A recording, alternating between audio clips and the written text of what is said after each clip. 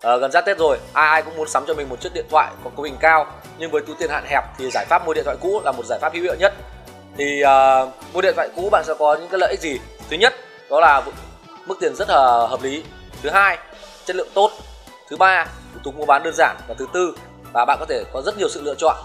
Mua điện thoại cũ có rất nhiều điểm hạn chế. Có thể bạn sẽ phải mua phải những chiếc điện thoại không chất lượng không tốt nếu mà kiểm tra không kỹ. Thứ hai bạn có thể gặp được những gian thương. Thứ ba là có rất nhiều thủ đoạn lừa đảo tinh vi và bạn cần phải tránh xa những người này. Và sau đây mình xin chia sẻ bạn một số kinh nghiệm khi mua điện thoại cũ qua mạng. À, đầu tiên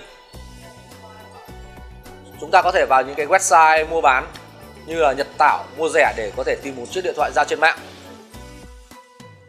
Ở đây mình hay sử dụng Nhật Tảo vì cách phân chia các uh, topic trên Nhật Tảo khá là hợp lý. Mình xin uh, các bạn cách mua một chiếc điện thoại ở đây mình sẽ lấy ví dụ là một chiếc iPhone iPhone 4S đầu tiên ta sẽ vào mục uh, điện thoại. Thì khi mua một chiếc điện thoại cũ chúng ta cần nên biết giá dao động của nó từ bao nhiêu đến bao nhiêu để ta sử dụng bộ lọc cho hợp lý hơn. Giả sử như một chiếc iPhone 4S sẽ có giá từ 6 đến 7 triệu thì ta sẽ sử dụng cái bộ lọc như này. 7 triệu. Và giá từ 5 triệu đến 7 triệu như thế thì ta sẽ tìm được một chiếc iPhone nó hợp lý hơn và sẽ không mất thời gian.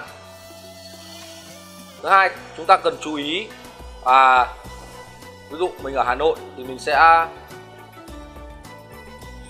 dùng bộ lọc ở Hà Nội. Okay. ví dụ ở đây ta xem, cần bán bán iPhone 4S hàng Viettel. Chúng ta nên chú ý những topic nào có ảnh, minh họa rõ ràng thì chúng ta sẽ đỡ mất thời gian hơn bạn có thể mua máy của người bán hoặc ờ, của cửa hàng. Mua máy của người bán, bạn sẽ kiểm tra kỹ càng hơn. Mua máy của cửa hàng thì bạn sẽ được một cái lợi, đấy là sẽ có bảo hành, nhưng mà cũng tránh các cửa hàng mà không uy tín ra.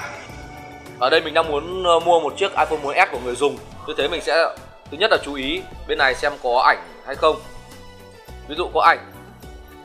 Như thế mình sẽ có thể hình dung được chiếc máy và có giá bên cạnh 6 triệu 9 mình có thể vào cái topic này mình xem.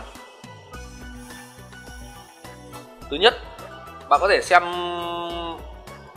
ảnh trước xem bạn có ưng ý hay không. Thứ hai máy full box đầy đủ hộp phụ kiện thì cũng yên tâm rồi. Nhưng mà bạn có thể uh, xem. Chẳng hạn họ giao. Máy full box hộp trùng email sạc cáp tai nghe theo máy giá 6 triệu 9 thì sau khi bạn xem mà bạn ưng chiếc máy này bạn có thể gọi điện đến cái số điện thoại của họ để xin một số email của họ. Sau đó lên trang Apple để check xem cái uh, email đấy có khớp hay không. Thực ra đến bây giờ thì uh, cái việc đấy cũng không quá quan trọng bởi vì máy ờ, iPhone S bây giờ là hết bảo hành rồi. Mà khi bạn check thì bạn chỉ nhận được thông tin là nó là máy của Apple thôi. Ngoài ra bạn có thể vào để kiểm tra cái độ uy tín của cái nick này bạn có thể vào phần nick. Bạn xem cái hoạt động của họ.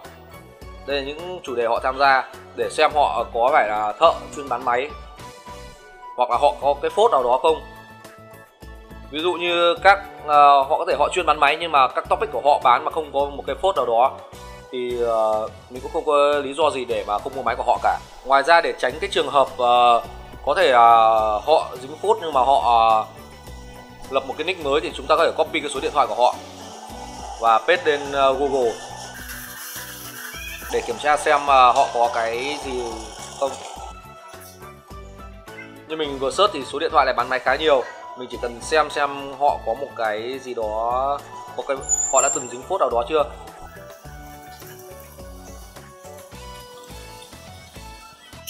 Cuối cùng là mức giá, bạn cần phải xem mức giá đấy có phù hợp với mình chưa trước khi quyết định đi xem máy. Và bạn có thể gọi điện cho người bán để có thể chốt được mức giá hợp lý nhất. À, thường thì người bán máy luôn luôn giao bán máy với giá hơi lẻ một chút để cho bạn gọi điện mặc cả. Chính vì thế nên bạn cứ gọi điện và fix trực tiếp. Giả sử như bán một chiếc máy bán 6 triệu 7 chẳng hạn, bạn có thể fix xuống còn 6 triệu rưỡi. Như thế sẽ hợp lý hơn rất nhiều. Một điểm đáng lưu ý khác là bạn không nên giao dịch ở ngoài đường, quán nước hay những nơi có độ sáng thấp, nên ưu tiên giao dịch tại nhà riêng. Và thứ hai, cố gắng làm sao luôn luôn đi hai người để tránh những trường hợp xấu nhất có thể xảy ra À, như trên mình đã trình bày với bạn một số uh, lưu ý khi mua máy trên mạng xin chào và hẹn gặp lại các bạn ở những số lần sau. Phải research springboard. À, mình sẽ cho thấy các bạn các bạn à, đầu tiên là vào